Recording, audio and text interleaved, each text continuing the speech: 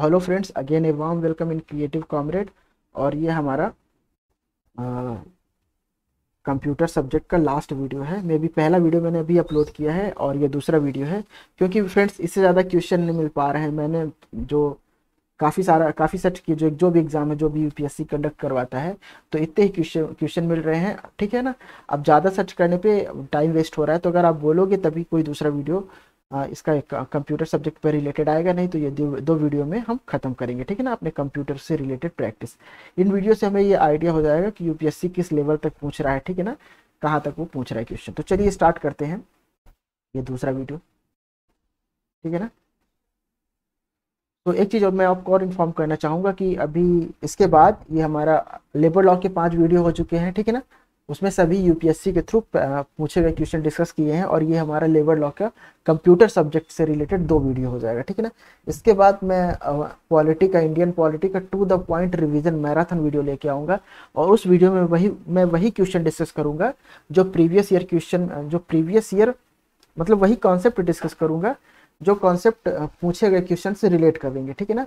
और maybe वो video six hour के आसपास होगा तो काफ़ी इंपॉर्टेंट रहेगा और आप, अब में भी आपको पसंद आएगा, ठीक है ना? चलिए स्टार्ट करते हैं ये वाला सेक्शन ठीक है ना फ्रेंड्स तो वही रिकॉर्डिंग की प्रॉब्लम हो गई थी फिर से। अभी ठीक हुआ है। चलिए स्टार्ट करते हैं। पहला क्वेश्चन है extra browser window of commercial that open automatically on browsing web page is called commercial के अतिरिक्त ब्राउज़र विंडो जो वेब वेब पेज ब्राउजिंग करते समय स्वतः खुलती है, क्या कहलाती है, ठीक है ना? तो जैसे आप, आपके साथ मैक्सिमम हुआ भी होगा ये चीज़ कि जब भी आप कोई चीज़ ब्राउज कर रहे हैं, ठीक है ना? तो कभी कभी क्या होता है, एक एक्स्ट्रा विंडो ऑटोमेटिकली खुल जाता है, एक एडवर्टाइजिंग विंडो ऑटोमेटिकली खुल जाता है तो उस विंडो को, उस विंडो को क्या कहते हैं, ठीक है ना? तो चलिए ऑप्शन देखते हैं। Spam virus phishing and popup तो देखिए पिसिंग तो पिसिंग एक ऐसी प्रोसेस है जिसमें हम क्या करते हैं, दूसरे का इंफॉर्मेशन दूसरे का क्रीडेंशियल एक्सेस करने की कोशिश करते हैं, ठीक है ना? फ्रॉड टाइप का है। वायरस तो डिफरेंट ही है ठीक है ना? वायरस तो आउट ऑफ़ सिनेरियो है तो ये दो ऑप्शन हम एलिमिनेट कर देते हैं। अब हमारे पास दो ऑप्शन बचा स्पैम एंड पॉपअप तो अगर हमें स्पैम स्पैम और पॉपअप की करेक्ट डेफिनेशन पता है तो हम ये क्वेश्चन क्रैक कर, सॉल्व कर देंगे ठीक है ना? तो देखिए स्पैम क्या होता है? स्पैम को बोलते हैं कि कोई इर, कोई अनौपचारिक मैसेज मतलब इरेलीवेंट जो भी आप सर्च कर रहे हो उससे ना जुड़ा हुआ उससे इरेलीवेंट मैसेज अगर आप सेंड करते हो थ्रू द इंटरनेट ठीक है ना? To the end large number of user तो उसे हम क्या बोलते हैं? स्पैम इसके अलावा आप जो भी मैसेज सेंड कर रहे हो, वो किससे रिलेटेड है? वो एडवर्टाइजिंग से रिलेटेड है, ठीक है ना? पिशिंग से रिलेटेड है मालवेयर से रिलेटेड है? इन सब चीज़ों को स्पैम कहते हैं। स्पैम मतलब आप कोई चीज़ इनअप्रोप्रिएट चीज़ किसी को सेंड कर रहे हो, ठीक ना? अगर कोई भी पर्टिकुलर कोई भी यूज़र वो चीज़ सर्च नहीं कर रहा, लेकिन एक इनअप्रोप्रिएट विंडो आ जा रही है, ठीक है ना? तो वो कहीं से जनरेट हो रहा है तो इसलिए वो इनअप्रोप्रिएट विंडो आ रही है, ठीक है ना? तो उससे क्या बोलते हैं? स्पैम बोलते हैं। और पॉपअप क्या पॉपअप किससे बोलते हैं? पॉपअप कभी देख लीजिए। पॉपअप क्या है? एक प्रकार का एडवर्ट एडवर्टाइजमेंट है that appear suddenly and exist for limited time तो देखिए, जो पॉपअप होता है, जैसे मान लीजिए आप कुछ चीज़ ब्राउज कर रहे हैं किसी विंडो में, ठीक है ना? तो क्या होता है, तभी अचानक एक हमारे पॉपअप शो करने लगता है छोटा सा मैसेज शो करेगा, ठीक है ना? ये पॉपअप शो करेगा।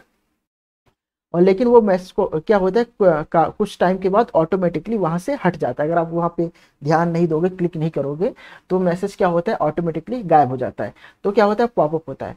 और स्पैम में क्या होता है, अगर आप कोई चीज़ सर्च कर रहे हो तो एक पर्टिकुलर एक एक्स्ट्रा एडवर्टाइजिंग या फिशिंग विंडो खुल जाती है, ठीक है ना? जिसमें आपको एप्लीकेशन इंस्टॉल करने के लिए बोलता है ये सब चीज़ें। तो वो क्या होता है? स्पैम तो देखिए पॉपअप में हम क्या करते हैं? पॉपअप में अगर हम उसको एक्सेस नहीं करेंगे तो कुछ टाइम बाद वो ऑटोमेटिकली वो मैसेज गायब हो जाता है, वो पेज गायब हो जाता है, ठीक है ना? छोटा सा नोटिफिकेशन टाइप का रहता है, वो गायब हो जाता है। लेकिन स्पैम में क्या होता है? अगर एक न्यू विंडो खुल गया तो न्यू विंडो वो तब तक खुला रहेगा जब तक आप उसे कैंसिल नहीं करोगे, ठीक है ना? जब तक आप उसे एग्जिट नहीं करोगे। तो यही अंतर होता है पॉपअप स्पैम में। तो फ्रेंड्स इसका जो राइट आंसर हो जाएगा, वो क्या हो जाएगा? स्पैम ठीक है ना? चलिए। अगले क्वेश्चन पे चलते हैं।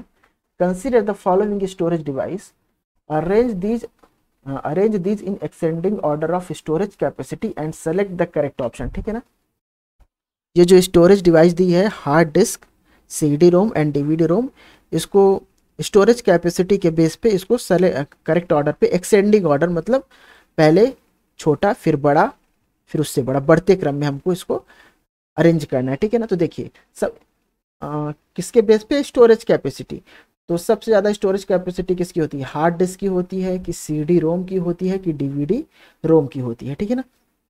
तो देखिए जो आपका रोम रोम मेमोरी है ठीक है ना? उसकी स्टोरेज कैपेसिटी हमेशा कम होगी। उसकी चाहे डीवीडी रोम हो चाहे सीडी रोम हो उसकी स्टोरेज कैपेसिटी आपके हार्ड डिस्क से कम होती है। तो सबसे ज़्यादा स्टोरेज कैपेसिटी आपकी हा, आपके हार्ड डिस्क की होती है। फिर डीवीडी की ज़्यादा होगी एज कंपेयर टू सीडी ठीक है तो इसका करेक्ट करेक्ट जो हो जाएगा करेक्ट जो सीरीज़ हो जाएगी, क्या हो जाएगी? ए सी बी ठीक है ना? देखते हैं किसमें है? ए सी बी तो option four is right answer चलिए अगले क्वेश्चन पे चलते हैं। In computer related activity what is the full form of worm W O R M का फुल फॉर्म क्या है? ठीक है ना? तो ये वर्ड क्या है? कंप्यूटर से रिलेटेड इसका इसका क्या मतलब होता है? राइट डब्ल्यू मीन्स राइट लिख देता हूँ मैं। माउस का यूज़ कर रहा हूँ फ्रेंड थोड़ा प्रॉब्लम हो सकती है, ठीक है ना? डब्ल्यू मीन्स हो जाएगा राइट राइट ओ का ओ का मीन्स क्या है यहाँ पे? Once write once write once read memory ठीक है ना? आर मीन्स रीड और एम मतलब memory write write once read memory write once read memory read many नहीं है friends write once read memory होगा। तो ध्यान दीजिएगा जब भी आप एग्ज़ाम में इसको सॉल्व कर रहे होंगे। ठीक है ना? तो write once read memory this is the right answer चलिए अगले क्वेश्चन पे चलते हैं। जो हमारा ये क्वेश्चन है given below are two statement दो स्टेटमेंट दी हुई है, ठीक है ना? In the light of the above statement choose the correct answer from the option given below ठीक है ना? दोनों स्टेटमेंट को आपको पढ़ना है और जो भी स्टेटमेंट उसमें सही है या गलत है, आपको बताना है। तो पहला जो स्टेटमेंट क्या है? World wide web is not an example of client server technology और दूसरा हमारा क्या है? Statement F T P is a service available on the internet तो देखिए आपको कंफ्यूजन हो सकता है मे भी आपको स्टेटमेंट एक में कंफ्यूजन हो सकता है, लेकिन स्टेटमेंट टू के बारे में मैं आशा करता हूँ कि इसके बारे में तो पता ही होगा, ठीक है ना? देखिए एफ़ क्या होता है? एफ़ का फुल फॉर्म क्या होता है sir file transfer protocol file transfer transfer protocol ठीक है ना? तो एफ़ का फुल फॉर्म क्या होता है? फ़ाइल ट्रांसफ़र प्रोटोकॉल अभी फ़ाइल का ट्रांसफ़र कहाँ होता है और कैसे होता है देखिए जैसे मान लीजिए किसी प्लेस पे एक फ़ाइल रखी हुई है ठीक है ना? अब मैं अब बहुत सारे यूज़र इसको एक्सेस करना चाहते हैं। बहुत सारे मान लीजिए एक यूज़र आपका पाक, पाकिस्तान में एक यूज़र आपका कनाडा में है एक यूज़र आपका रशिया में है ठीक है ना? ये सभी यूज़र इस फ़ाइल को एक्सेस करना चाहते हैं। तो इस एफटीपी फ़ाइल ट्रांसफ़र प्रोटोकॉल के through file transfer protocol service के थ्रू वो क्या कर सकते हैं? वो लॉगिन करेंगे और ये फ़ाइल वो आसानी से डाउनलोड कर सकते हैं। Any user and any can download this file by help of internet ठीक है ना? तो ये सही है F T P is service available on the internet ये ऑप्शन करेक्ट है। अब दूसरा देखते हैं world wide web is not an example of client server technology देखते हैं क्लाइंट सर्वर टेक्नोलॉजी क्या है? क्लाइंट सर्वर टेक्नोलॉजी मीन्स आपका एक मान लीजिए एक सर्वर है, ठीक है ना? आपका एक सर्वर है। अब बहुत सारे पीपल बहुत सारे पीपल इस सर्वर में मान लीजिए कोई इन्फॉर्मेशन है, इस सर्वर में मान लीजिए रिज़ल्ट से रिलेटेड कोई इन्फॉर्मेशन है, इसमें रिज़ल्ट अपलोड किया गया है, ठीक है ना? किसी भी बोर्ड का रिज़ल्ट अपलोड किया गया है। अब बहुत सारे लोग इस पर एक्सेस करना चाहते हैं, ठीक है ना? एक्सेस करना चाहते हैं तो क्या करते हैं? तुरंत एक अपना वेबसाइट का वो डालते हैं, ठीक है वेबसाइट डालेंगे W W dot C B S C dot com जो भी होगा। वेबसाइट का अपना इंटर करेंगे, उसके बाद बहुत सारे लोग इसमें एक्सेस करना चाहते हैं, ठीक है एक्सेस करना चाहते हैं। तो देखिए तो यहाँ पे क्या छोटा छोटा हब बन जाता है। जैसे मान लीजिए एक यूज़र ने एक्सेस किया इस पेज पे, ठीक है ना? तो एक कुकीज टाइप को कैशे मेमोरी स्टोर हो जाता है, ठीक है ना? इससे क्या होता है, बहुत सारे जो क्लाइंट है, एक मिनी सर्वर बन जाता है, ठीक है ना यहाँ पे? तो बहुत सारे क्लाइंट आसानी से एक ही टाइम में इस सर्वर को एक्सेस करके इंफॉर्मेशन ले सकते हैं, ठीक है ना? ये होता है क्या? क्लाइंट सर्वर टेक्नोलॉजी तो ये जो, लेकिन क्लाइंट सर्वर जो टेक्नोलॉजी है, उस उस पर आप कैसे, उसका यूज़ कैसे करोगे?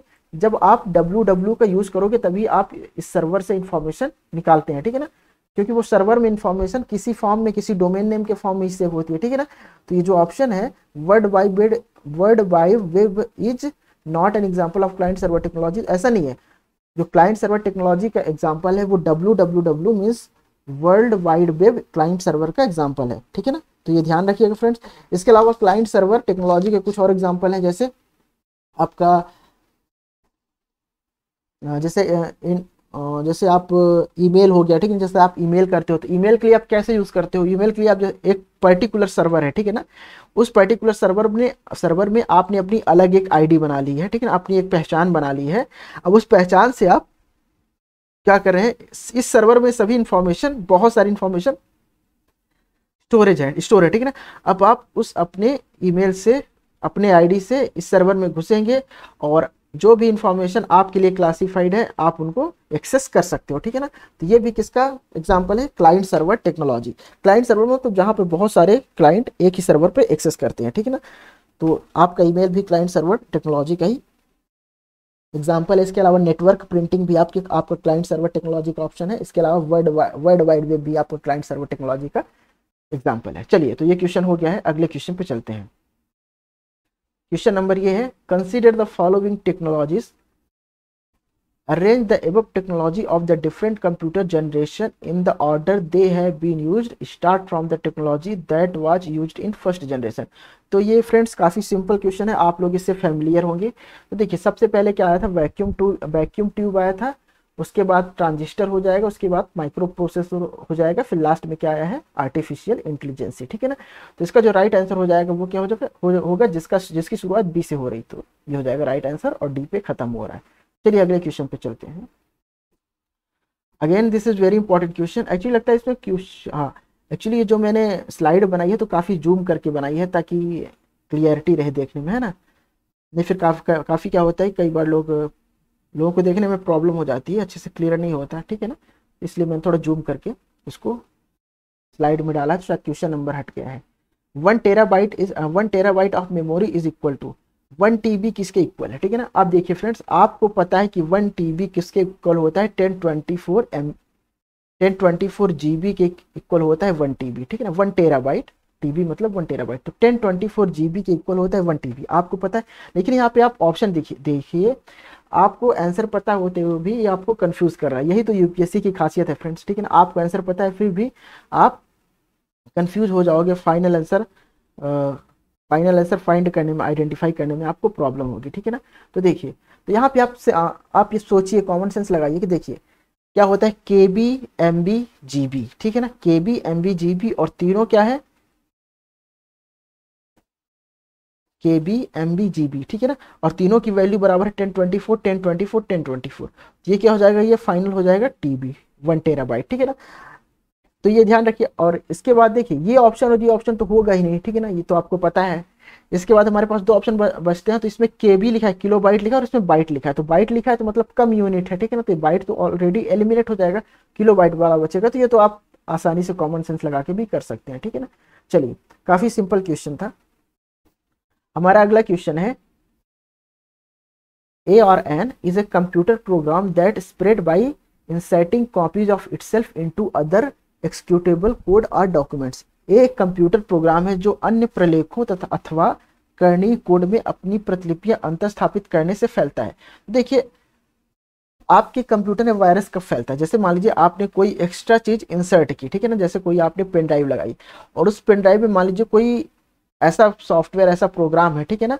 जो जैसे ही आपने पेन ड्राइव यहाँ पे लगाया तो वो वो सॉफ्टवेयर, वो क्या प्रोग्राम ऑलरेडी आपके सिस्टम में डाउनलोड हो जाता है, ठीक है ना? ऑलरेडी आपके सिस्टम में इंस्टॉल हो जाएगा और वो क्या करता है, फिर बाकी फ़ाइल को भी अफेक्ट करना स्टार्ट कर देता है। तो इसे क्या बोलते हैं? इस प्रोसेस को क्या बोलते हैं? कंप्यूटर वायरस ठीक है ना?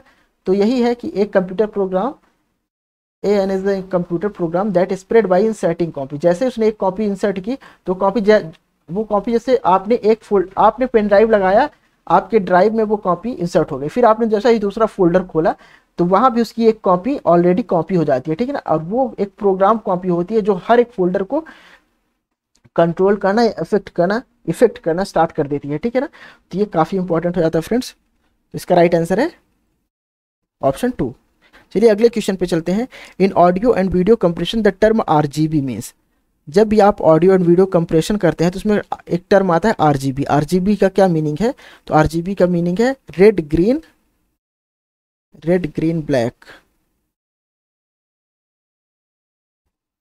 oh, oh मैं खुद कंफ्यूज हो गया. आर जी बी मीन देखिए आर जी बी क्या एक्चुअली प्राइमरी कलर है ठीक है ना? रेड ग्रीन ब्लैक है और रेड ग्रीन ब्लू है. तो क्या होना चाहिए? R G B means red green blue या red green red green red green black तो आप इसको इंटरनेट पर सर्च करके देख सकते हैं। मेरे हिसाब से तो जो कलर है, यही होना चाहिए। Red green red green blue होना चाहिए, ठीक है ना? रेड ग्रीन ब्लू होना चाहिए। चलिए सर्च कर लेते हैं। R G B stand for in video compression R G B stand for in video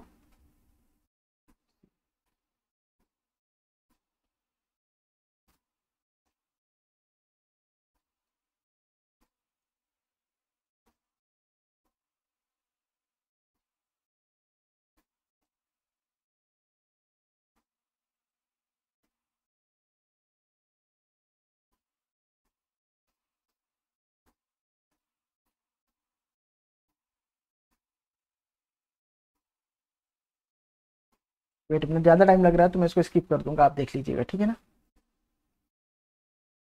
actually वो चीज़ नहीं आ पा रहा है, ठीक है ना? क्योंकि सही लिखा, सही इन्फॉर्मेशन नहीं प्रोवाइड की गई है।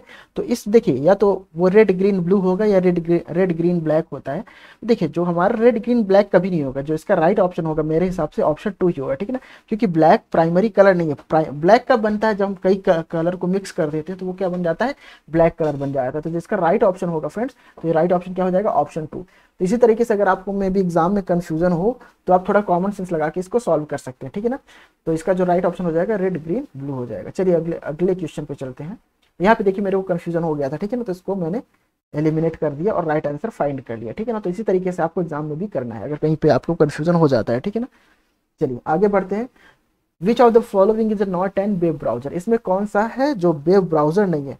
अब आप इसमें कंफ्यूज हो सकते हैं, क्योंकि देखिए internet explorer completely web browser है। गूगल क्रोम भी कंप्लीटली वेब ब्राउज़र है। आपका मोजिला फायरफॉक्स भी वेब ब्राउज़र है। याहू याहू भी वेब ब्राउज़र है, आपको पता है, ठीक है ना? याहू एक वेब ब्राउज़र है, आपको पता है, लेकिन बहुत ही कम लोग याहू का यूज़ करते हैं। तो यहाँ यहाँ आपको याहू पे डाउट हो सकता है। तो आप याहू के बारे में सर्च करेंगे तो आपको मिलेगा। देखिए याहू क्या है? एक इंटरनेट पोर्टल है, ठीक है ना? याद रखिएगा याहू एक इंटरनेट पोर्टल है। याहू का एक पर्टिकुलर ब्राउज़र तो है, ठीक है ना? लेकिन वो उस पोर्टल के अंदर है, ठीक है ना? याहू क्या है? Yahoo is an internet portal which incorporated search engine जैसे ही आप याहू सर्च करोगे तो एक इंटरनेट पोर्टल खुलेगा, ठीक है ना? उस पर उस पर उसके अंदर एक ब्राउज़र इनकारपोरेटेड है याहू ब्राउज़र तो एक्चुअली क्या है? याहू वेब ब्राउज़र तो है, ठीक है ना? लेकिन पहले, उससे पहले क्या है वो? एक इंटरनेट पोर्टल है। तो यहाँ पे जो हमारा राइट ऑप्शन हो जाएगा सुटेबल ऑप्शन हो जाएगा, वो क्या हो जाएगा? ऑप्शन फोर ठीक है ना? तो देखिए। तो इस तरह क्वेश्चन आते हैं फ्रेंड्स तो ध्यान रखिएगा। चलिए, अगले क्वेश्चन पे चलते हैं। निम्नलिखित में कौन सा कथन सही है? सॉफ्टवेयर को आर ए एम से, रैम से, ओके? कोई सॉफ्टवेयर है, उसको रैम से सेकेंडरी स्टोरेज में रखा जाता है और फिर सीपीयू द्वारा क्रियान्वित होता है। तो ये तो गलत कथन है, ठीक है ना? सर्च इंजन सर्च इंजन ऐसी सॉफ्टवेयर प्रणाली है जो विश्वव्यापी वेब डब्ल्यू डब्ल्यू डब्ल्यू पर सूचना तलाश करने के लिए अभिकल्पित किया गया, ये सही है, ठीक है ना? एक्चुअली शायद इसका ऑप्शन मेंशन करना मैं भूल गया हूँ, ठीक है ना? चलिए तो वो क्वेश्चन मैंने बता दिया, उसमें क्या सही है, क्या गलत है। अगले क्वेश्चन पे चलते हैं। Cyber address U R L हेतु घटकों की सूची का विकल्प जो शुरू से अंत तक सही क्रम में हो का चयन करिए, ठीक है ना? अच्छा मतलब इसमें आपको सही सही क्रम में लगाना सही ऑर्डर में मैनेज करना है तो ठीक है ना? तो देखिए, क्या होता है फ्रेंड्स जो आपका यूआरएल होता है, ठीक है ना? जो आपका यूआरएल होता है, वो बेसिक जो उसका बेसिक ऑर्डर है, जो इसका स्टैंडर्ड ऑर्डर ऑर्डर क्या है? पहला क्या होता है? स्कीम इसकी तीन स्टैंडिंग ऑर्डर है फ्रेंड्स उसके उसके स्टैंडिंग ऑर्डर में तीन चीज़ें हैं स्कीम ठीक है ना? उसके बाद क्या आता है आपका? स्लैश पोस्ट आता है, याद रखिएगा। उसके बाद आता है आपका पाथ आता है। पाथ आता है, फिर पाथ के साथ ही क्वेरी या स्ट्रिंग ऐसे रहता है ना? उसमें ऐसे कॉलम करके query string query and string यही चीज़ रहता है, ठीक है ना? स्कीम होता है आपका पोस्ट हो गया और पाथ हो गया पाथ के बाद क्वेरी एंड स्ट्रिंग ठीक है ना? तो देखिए स्कीम में क्या होता है? स्कीम में होता है आपका प्रो, प्रोटोकॉल आएगा एच और एच ये किसमें आता है आपका? ये स्कीम में आता है ठीक है ना? तो तीन चीज़ याद रखिएगा स्कीम होस्ट एंड पाथ यही यही राइट ऑर्डर है ठीक है ना? तो स्कीम में क्या आएगा आपका? एच और एच प्रोटोकॉल ठीक है ना? इसके बाद क्या आता है आपका? होस्ट नेम क्या हो सकता है? W W dot example dot com ऐसा मान लीजिए ऐसा कोई आपका होस्ट नेम है ठीक है ना? इसके बाद क्या आता है आपका? पाथ तो पाथ मान लीजिए ऐसा है कि सॉफ्टवेयर लिखा है पहले, फिर सॉफ्टवेयर के बाद फिर एच फ़ाइल लिखा है, उसके बाद एच डॉट फ़ाइल फ़ाइल का नाम दे दिया है। तो ये क्या हो जाता है? आपका पाथ हो जाता है। स्ट्रिंग मतलब स्ट्रिंग वही फ़ाइल का नेम आइडेंटिफाई करेगी फ़ाइल की पहचान करेगी तो वो स्ट्रिंग होती है, ठीक है ना? तो देखिए, पहले क्या आ रहा है? एच और एच तो ये क्या है? प्रोटोकॉल है, फिर उसके बाद क्या आ रहा है? आपका डोमेन नेम आ रहा है, ठीक है ना? आपका होस्ट का डोमेन नेम आ रहा है, उसके बाद क्या आ रहा है? पाथ आ रहा है। तो चलिए देखते हैं। पहले प्रोटोकॉल पहले प्रोटोकॉल फिर पाथ नहीं ये गलत हो जाएगा। पहले प्रोटोकॉल फिर होस्ट का डोमेन नेम फिर पाथ आ जाएगा, फिर फ़ाइल ठीक है ना? चलिए तो ये क्या हो जाएगा हमारा? राइट ऑप्शन हो जाएगा। चलिए, अगले क्वेश्चन पे चलते हैं। तो जो हमारा अगला क्वेश्चन इसमें बोला जा रहा है कि निम्नलिखित में कौन सा अप्लीकेशन सॉफ्टवेयर है? कौन सा एप्लीकेशन सॉफ्टवेयर मतलब एप्लीकेशन सॉफ्टवेयर पूछ रहा है, कौन सा एप्लीकेशन आपको ये बताना है कि इसमें कौन सा एप्लीकेशन है। एंड्रॉयड ऑपरेटिंग सिस्टम है। एंड्रॉयड ओ एप्लीकेशन नहीं है। ओ एस क्या है? ऑपरेटिंग सिस्टम है। वेब एप्लीकेशन नहीं है। लाइनेक्स भी ऑपरेटिंग सिस्टम है। अब बचा है आपके पास एम एस वर्ड तो एम एस वर्ड का यूज़ आप करते हो कंप्यूटर में। तो एम एस वर्ड क्या है? एक एक सॉफ्टवेयर है, एक एप्लीकेशन है, जिसका यूज़ आप किस लिए करते हो? प्रेजेंटेशन बनाने के लिए। ठीक है ना? तो यहाँ से ध्यान रखिएगा। इसका राइट ऑप्शन हो जाएगा ऑप्शन फोर चलिए अगले क्वेश्चन पे चलते हैं। What type of device is joystick actually friends ये जो ये जो इस वीडियो में जो क्वेश्चन मैंने मेंशन किए हैं पहले वीडियो में जो क्वेश्चन मेंशन किए थे, वो लेटेस्ट थे। वो ट्वेंटी का था, फिर नाइनटीन का था, फिर एटीन का था, फिर सेवनटीन का था, फिर फोर्टीन का था। ठीक है ना? फोर्टीन तक पेपर अवेलेबल है यूपीएससी की वेबसाइट पे। अब लेकिन ये जो है, ये जो क्वेश्चन है, वो उसके बाद से, वो उसके बाद के क्वेश्चन जो मैंने अनऑथराइज वेबसाइट से उठाए हैं। क्या होता है ना, काफ़ी वेबसाइट जो पुराने पेपर प्रीवियस पेपर अपने साइट पे डाल के रखती है, ठीक है ना, उस पर्टिकुलर एग्ज़ाम का। तो वहाँ से मैंने पेपर उठाए हैं और वो इसलिए ये पेपर थोड़ा आपको सिंपल लग रहा होगा करंट की अपेक्षा, क्योंकि देखिए, पहले क्या था कंप्यूटर से रिलेटेड सिंपल क्वेश्चन ही पूछे जाते थे मेमोरी लेकिन अब क्या हो रहा है मेमोरी पूछते पूछते, आपका ऑपरेटिंग सिस्टम पूछते पूछते बहुत टाइम हो गया। अब वो क्या इवॉल्व कर रहा है यूपीएससी भी इवॉल्व कर रहा है, इसलिए जो करंट क्वेश्चन है थोड़ा डिफ़िकल्ट पे धीरे धीरे उनका पैटर्न चेंज हो रहा है। और ये प्रीवियस क्वेश्चन इसलिए थोड़ा सिंपल लेवल के हैं। चलिए स्टार्ट करते हैं अब तो आगे बढ़ते हैं, स्टार्ट तो है ही। Among the following following which one is the example of instructional software इसमें इन दिए गए ऑप्शन में कौन सा एक इंस्ट्रक्शनल सॉफ्टवेयर है? फ्रेंड्स तो इसके बारे में आपको इंस्ट्रक्शनल सॉफ्टवेयर के बारे में जानकारी होनी चाहिए, ठीक है ना? एक्सटर्नल सॉरी इंस्ट्रक्शनल सॉफ्टवेयर के बारे में जानकारी। तो इस, यहाँ पर आप आइडिया लगाइए, इंस्ट्रक्शनल सॉफ्टवेयर लिखा है मतलब इंस्ट्रक्शन के बारे में कोई बात हो रही है, ठीक है ना? इंस्ट्रक्शन के बारे में बात हो रही है। तो देखिए, इंस्ट्रक्शन सॉफ्टवेयर कितने टाइप के होते हैं मैं आपको बताता हूँ। पहला जो इंस्ट्रक्शन सॉफ्टवेयर होता है मैं आपको लिख देता हूँ, ठीक है ना? आप भी लिख लीजिएगा अगर आपको यूजफुल लगे तो। तो पाँच टाइप के इंस्ट्रक्शनल सॉफ्टवेयर होते हैं फ्रेंड्स, याद रखिएगा। पहला होता है आपका drill. Drill and practice software drill drill and practice software ठीक है ना? प्रैक्टिस सॉफ्टवेयर मैं थोड़ा आपको समझाऊँगा भी थोड़ा आप लिखिए. ड्रिल एंड प्रैक्टिस सॉफ्टवेयर पहला इंस्ट्रक्शनल सॉफ्टवेयर सॉफ्टवेयर हो गया. दूसरा हमारा इंस्ट्रक्शनल सॉफ्टवेयर क्या होता है? ट्यूटोरियल ट्यूटोरियल सॉफ्टवेयर ठीक है ना? ट्यूटोरियल सॉफ्टवेयर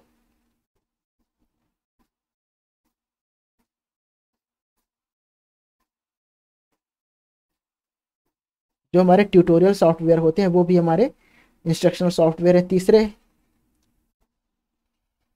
सिमुलेशन सॉफ्टवेयर ठीक है ना? सिमुलेशन सॉफ्टवेयर वो भी हमारे इंस्ट्रक्शनल सॉफ्टवेयर होते हैं, ठीक है ना? इसके बाद आता है फोर्थ नंबर वो क्या है? Problem solving software problem solving problem solving software और फिफ्थ नंबर पे आता है गेमिंग सॉफ्टवेयर ठीक है ना? तो देखिए, ये सब क्या होते हैं? इंस्ट्रक्शनल सॉफ्टवेयर है। अब इंस्ट्रक्शनल सॉफ्टवेयर क्यों है? क्योंकि ये हमारे इंस्ट्रक्शन पे काम। देखिए, इनके लिए जो, इनके लिए इंस्ट्रक्शन हम नहीं देंगे। इनके लिए जो इंस्ट्रक्शन होता है, वो ऑलरेडी वेबसाइट पे, वो प्रोग्राम रूप में इंस्ट्रक्शन मौजूद होता है। जैसे मान लीजिए, आप डिस्कवरी वेबसाइट पे डिस्कवरी वेबसाइट पे आप कोई भी चीज़ क्लियर करें, कोई भी चीज़ आप सर्च करते हो, ठीक है ना? तो वहाँ पे ऑलरेडी उस कंटेंट से जो आप सर्च कर रहे हो, उससे रिलेटेड एक वीडियो बना के भी रखता है, ठीक है ना? जैसे ही आप वो चीज़ सर्च करते हो तो आपको एक वीडियो प्ले करने का ऑप्शन आ जाता है, ताकि आप आसानी से उस चीज़ को समझ पाओ। तो ये इंस्ट्रक्शन पे काम है। इसके लिए एक ऑलरेडी इंस्ट्रक्शन बना के रखा गया तो इसलिए इस सॉफ्टवेयर को इंस्ट्रक्शनल सॉफ्टवेयर कहा जाता है। इसके अलावा जैसे जो ट्यूटोरियल सॉफ्टवेयर है, जो ट्यूटोरियल सॉफ्टवेयर है, वो भी इंस्ट्रक्शनल सॉफ्टवेयर है। ये सब इंस्ट्रक्शनल सॉफ्टवेयर है। इसके अलावा गेमिंग वाला हो गया, है ना? और सिमुलेशन सॉफ्टवेयर ये सब इंस्ट्रक्शनल सॉफ्टवेयर की कैटेगरी में आता है। तो चलिए अब ऑप्शन देखते हैं। ऑडियो पोस्ट का पॉडकास्ट नहीं पता आपको, ठीक है ना? क्योंकि हमने देख लिया, पाँच टाइप का होता है, पाँच टाइप में नहीं आ रहा है तो ये नहीं होगा। प्रिंटेड मटेरियल और book no radio talk no Edusat Edusat क्या है? एक एडू सेट वो आपको एजुकेशन से रिलेटेड लग रहा है, ठीक है ना? तो हमने बात की है ट्यूटोरियल जो सॉफ्टवेयर होगा, वो किसमें आएगा आपका? इंस्ट्रक्शनल सॉफ्टवेयर में आएगा तो इसका जो राइट आंसर हो जाएगा, वो क्या हो जाएगा? एडू सेट चलिए, अगले क्वेश्चन पे चलते हैं।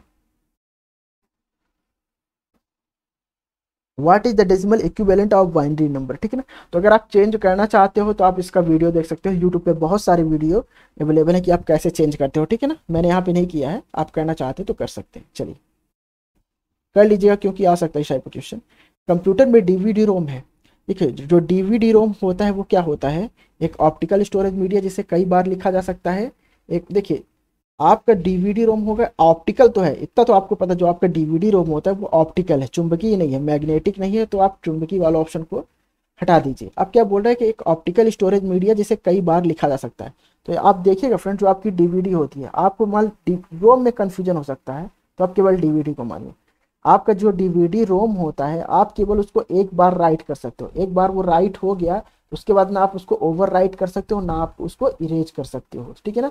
तो डीवीडी रोम को क्या हो सकता है? एक बार राइट हो गया तो ना उसको ओवर राइट कर सकते हो, ना आप उसको इरेज कर सकते हो। तो एक ऑप्टिकल स्टोरेज मीडिया जिसे कई बार लिखा जा सकता है, ये गलत हो जाएगा। एक ऑप्टिकल स्टोरेज मीडिया जिसे केवल एक बार लिखा जा सकता है, इसका राइट आंसर होगा। चलिए, अगले क्वेश्चन पे चलते हैं। अगला क्वेश्चन हमारा है। With regard to the computer memory which of the following statement is true सही स्टेटमेंट आपको पता करना है, ठीक है ना? हिंदी वाले जो जो भी हिंदी प्रेफर करते हैं तो वो ये वाला सेक्शन देख सकते हैं, ठीक है? इंग्लिश में, मैं एक्सप्लेन किए दे रहा हूँ। कैसे मेमोरी इज़ वोलेटाइल मेमोरी देखिए वोलेटाइल मेमोरी आप कैसे पहचानेंगे? कभी कभी क्या होता है, हमें वोलेटाइल और नॉन वोलेटाइल में कन्फ्यूज़न हो जाता है। अभी आपने पढ़ लिया, आपको याद रहेगा, लेकिन दो दिन बाद, चार दिन बाद छः दिन बाद आपको कन्फ्यूज़न हो जाएगा, ठीक है?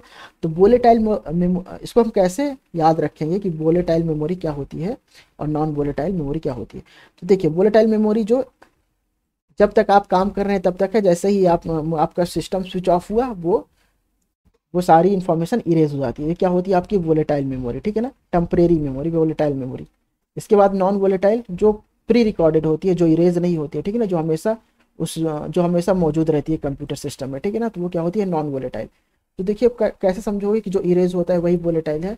वोलेटाइल जैसे मान लीजिए वोलेटाइल मान लो, आप बहुत बात करते हो तो आपने कुछ बोला। आपने कुछ बोला आप, जैसे मैंने अभी बोला कि मैं कहाँ जा रहा हूँ, कुछ देर बाद ये वर्ड गायब हो जाएगा, ठीक है ना? मैं कहाँ जा रहा हूँ आपने बोला और उसके बाद ही ये वर्ड गायब हो गया। मतलब इसकी कोई वैलिडिटी नहीं है। जैसे ही आपने बोला उसके बाद ये वर्ड गायब हो जाएगा, ठीक है ना? किसी को नहीं पता चलेगा कि आपने कुछ बोला भी था।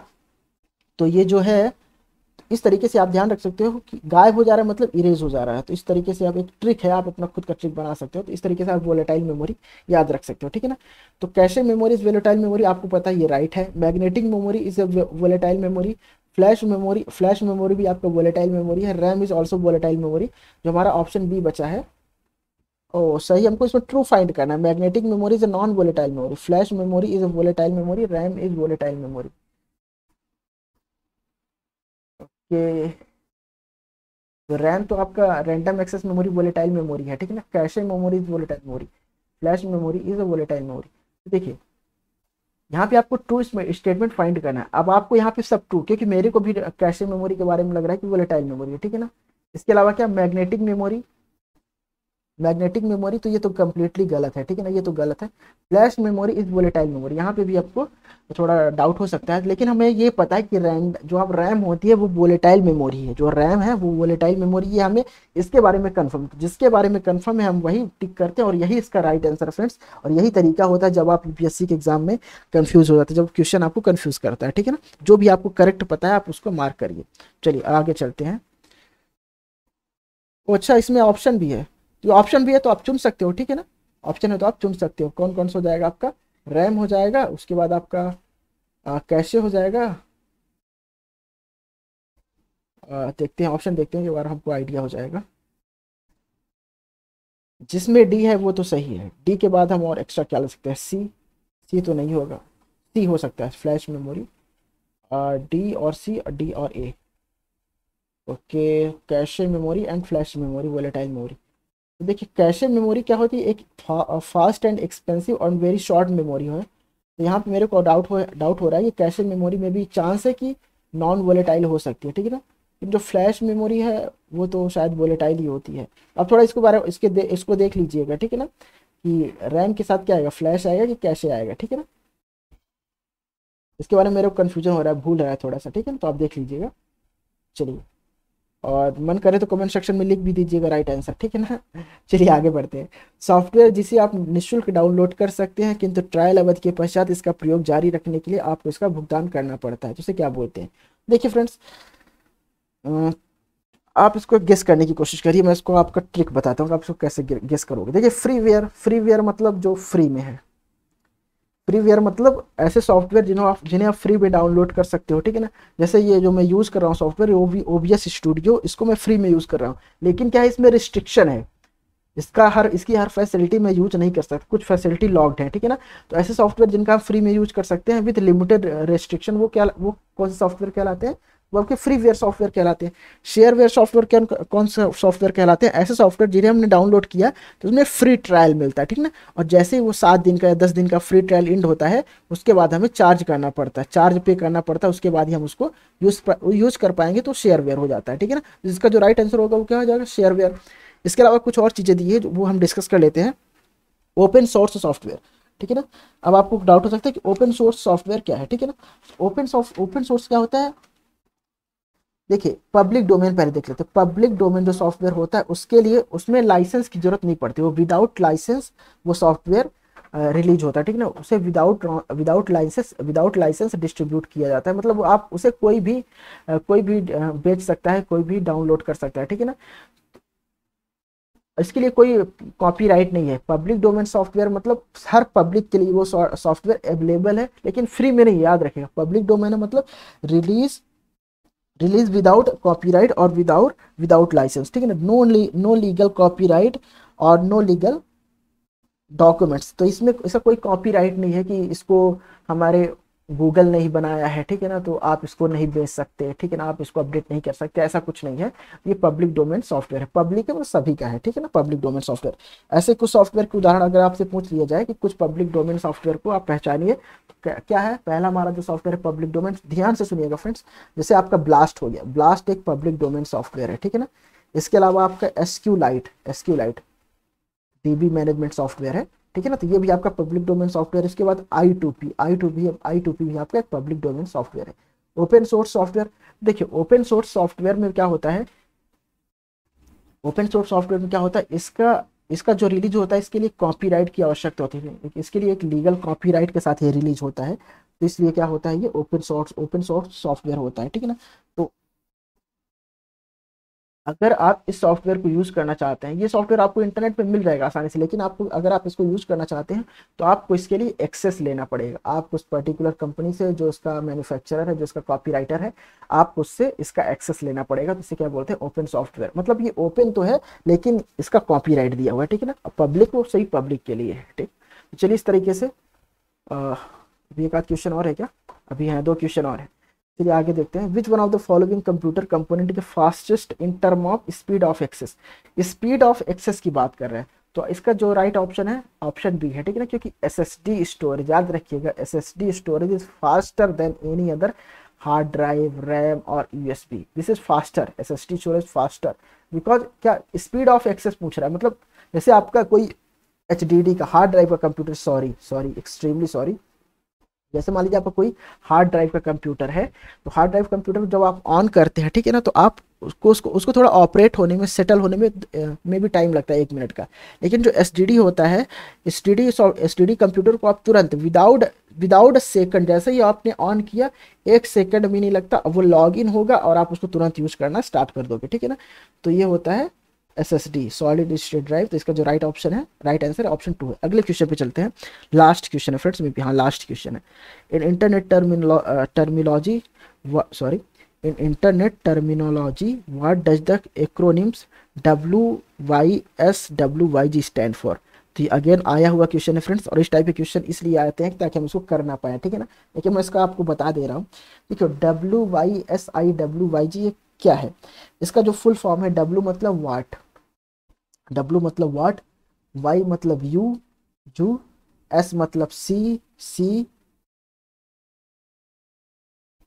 सी ओके आई मतलब इज़ ओके फिर डब्ल्यू मतलब वाट वाई मतलब यू गेट ये क्या है? What you see is what you get actually ये क्या है? ये एक टाइप का एक टाइप का सॉफ्टवेयर है, ठीक है एक्चुअली क्या होता है? W Y S I W Y G what you see is what you get एक प्रकार का सॉफ्टवेयर है। और इसका इसका क्या, इसकी खासियत क्या है इस सॉफ्टवेयर की? कि आपको एडिटिंग अलाउ करता है। जैसे मान लीजिए आप इस सॉफ्टवेयर इस इस सॉफ्टवेयर के थ्रू कोई एडिटिंग करते हैं, ठीक है ना? फॉर्म एडिटिंग अलाउ करता है। फॉर्म एडिटिंग मतलब सेम फॉर्म एडिटिंग जैसे आपने एडिटिंग एडिटिंग की उसके बाद वो जैसा प्रीवियस था प्रीवियस जो सॉफ्टवेयर था, वो ऑटोमेटिकली आपके एडिटिंग करने के बाद वो ऑटोमेटिकली कुछ यूज़ जो भी उसके प्रोग्राम है, उसका यूज़ करके पुनः प्रीवियस कंडीशन में चला जाता है। प्रीवियस कंडीशन मतलब नहीं, वो प्रीवियस जो प्रॉपर्टी है प्रीवियस रिक्वायरमेंट उसको ऑलरेडी वो गेन कर लेता है। समझ रहे हैं क्या? नहीं तो थोड़ा समझने में प्रॉब्लम हो रही है, वो हो रही होगी।